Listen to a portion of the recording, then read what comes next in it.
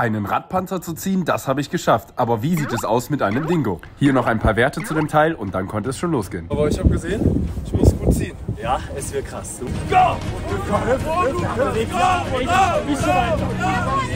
So ein dickes Teil ans Rollen zu bekommen, ist bekanntlich immer das Schwerste. Ihr seht, es war echt anstrengend, aber ich habe extra aufgehört zu ziehen, damit ich mir die Kraft noch aufheben konnte. Und natürlich nicht, weil ich zu schwach war.